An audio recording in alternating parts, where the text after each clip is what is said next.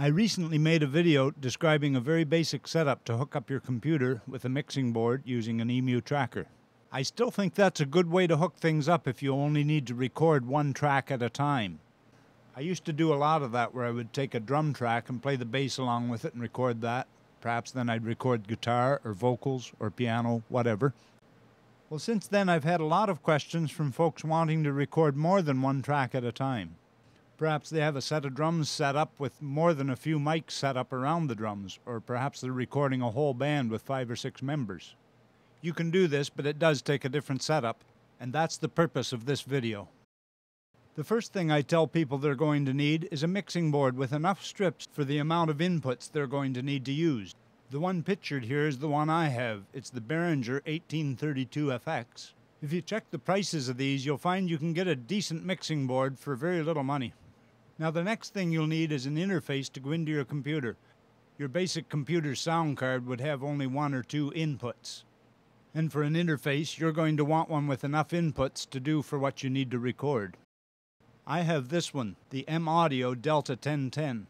It has 10 ins and outs, but two of them are digital, so this gives me 8 mono analog ins and outs to my computer. So that's the equipment. Now let's look at how to set it all up. Again, there are more than a few ways to do this, but I'll show you exactly how I do it here now presently. Notice on the back of my mixer, the first six strips or channels have their own channel inserts. Well, I use the first six audio inputs from my M-Audio Delta 1010 to go into these channel inserts.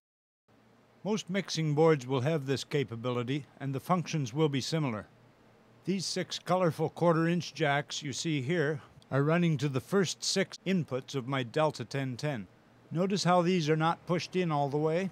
This is referred to as the tip and sleeve method. If I push these in all the way, they cut out the sound going through the mixing board and through the system, through the speakers and headphones.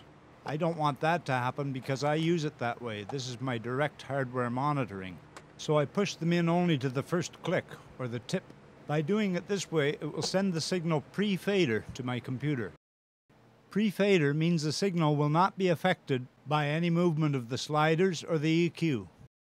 This has its advantages while recording. A singer might want the volume louder in their headphones after I've already got a good mix, so I can slide that strip up a little more without affecting my recording level. This is the M Audio control panel.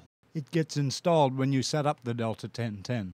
Here is where I can make all my settings, including the input levels for each of the inputs on the Delta 1010. Now finally, in my audio recording software, I will set up the tracks to record those channels. Sonar allows you to arm as many tracks as you need to record all at once. So that makes a real nice setup for multi-track recording.